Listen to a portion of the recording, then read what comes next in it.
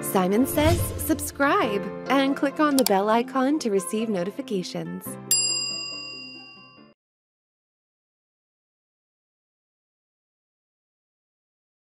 So far in this course, we've been taking predominantly a good look at how to work with text and paragraphs in our documents. So in this section, it's time to switch gears a little bit and focus on how we can start to make our documents look a little bit more interesting.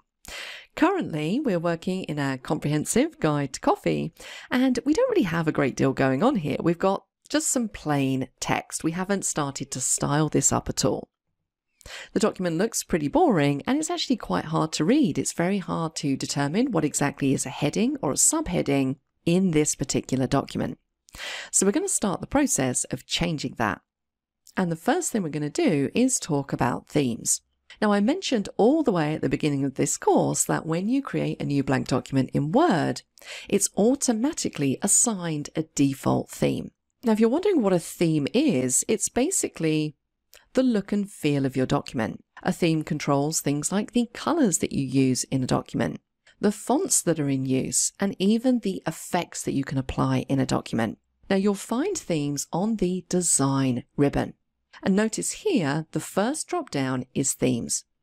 So currently I have the default theme selected, which is just this one here, the office theme. And with this theme, as I mentioned, we get a specific set of theme colors, fonts, and effects. What you might have noticed is that if you're, for example, trying to change the color of this title just here, if we go to the Home tab, when we click the font color drop down, notice we have a palette called theme colors. So all of the colors that you see in this section are basically defined by the theme that you're using. So in this case, I'm using the Office theme, and these are the colors that are part of that theme. But what about if I don't like that palette of colors? Maybe I want something completely different. Well, this is where I could change the theme that I'm using. So if we jump up to Design, click the drop down next to Themes, we have all of these other themes in this theme gallery. We can create our own custom themes as well, which we're not going to get onto in this particular lesson. Let's start by applying some of these other themes so you can see the difference. So if I hover my mouse over any of these themes, notice that the live preview is showing me what that's going to look like in this document. Now, because I don't have any colors in this document, I just have text, the only thing you can really see that's changing in this document is the font that's in use. So if I hover over facet, I get a different type of font. If I hover over gallery, I get a different type of font again, so on and so forth. So what I'm going to do here is I'm going to change the color of this title. So let's use our mini toolbar for this as it's right there. I'm going to choose one of my theme colors. So let's go for this blue. So now when I hover over different themes, you should notice that the color changes as well. So it's showing me what that title is going to look like, not only in the font that belongs to this specific theme, but also with regards to color. So just be aware of that. Now, what about if I change this title to one of the standard colors? So I'm not going to be using a theme color. Let's change it to red. And now see what happens when we hover over these different themes. Notice that whilst the font is changing, the color of that heading is staying as red. Now, why is that? Well, themes only affect items that already have another theme applied to them. So if I change the color to a standard color as opposed to a theme color, it's always going to use that standard color. You need to make sure that you have selected a theme color if you want that to change. The same thing could be said of font that we're using. If I change this first paragraph to, let's go for, let's go for something crazy. Let's go for Algerian. Again, if I go back to themes, it's going to change the rest of the font and the colors, but it's not going to change that font in the first paragraph because I've manually applied my own font that isn't part of the theme. Now, I don't like that font, so let's Control Z to take it back. So just be aware of how applying a theme affects different parts of your document. Now we're going to choose one of these other themes. Let's go for Ion Boardroom because that one really stands out.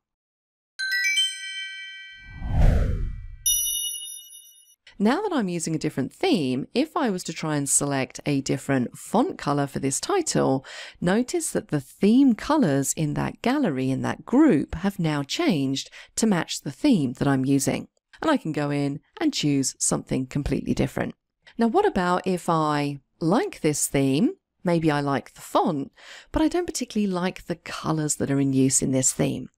Well, this is where we can start to customize how our theme looks. If we go all the way over to the colors drop down, I have a choice of different palettes. So I can effectively still use this theme, but I can choose to use a different color palette. So let's go for, let's go for marquee down here. Everything updates. And now if I try and change that font color, I'm getting a completely different set of colors, but the actual font style is still being taken from the theme. Maybe I also want to change the font. Again, we have a fonts drop down. I can go through and I can change this to something completely different. So maybe I want to go for Cambria throughout this document. I can simply select that different font. So effectively what I've done there is I've started with a theme that I've selected from the drop down, but then I've customized it to use a different color palette and also different fonts. What I could then do is if I wanted to, I could save the current theme because I've changed it. So if I save this as something else, I'm going to call this Deb's coffee theme. Notice it jumps to a specific theme folder. So this is very similar to when we're saving a template. You want to make sure that you do save any custom themes into the default templates folder. Let's click on save. And now that theme is going to be available in this custom group for me to apply to my documents. Even if I create a new document, so control N, and let's just type in some junk text. I'll say three paragraphs of four lines. If I go back to design, I can then apply my coffee theme. So really nice and straightforward. Now I don't need this document, so let's control W to close that down. And I'm going to say don't save. Another thing to notice is that when you choose a theme, in this document formatting group, we get some inbuilt document formatting styles that we can apply. So if I click the drop down here, maybe if I choose this one, notice that it hasn't really had any effect on my document. Now, why is that? Well, this is related to word styles again. If we take a look at this thumbnail, when I apply this document formatting, it should change anything that's a title in my document to this larger font. Anything that's a heading 1 is going to show like this, and then I have my text. Now, I haven't applied heading styles to my document, hence why it's not really showing my title and my heading 1 the way it's represented in this thumbnail. And I could pick any of these and it's not going to change. These truly work when you have heading styles applied in your document. And we're going to be talking about this a lot in a couple of sections time.